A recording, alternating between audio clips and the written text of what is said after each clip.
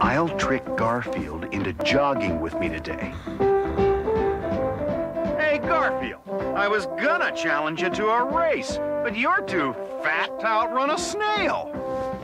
Oh, yeah? You're on. On your mark, get set, go!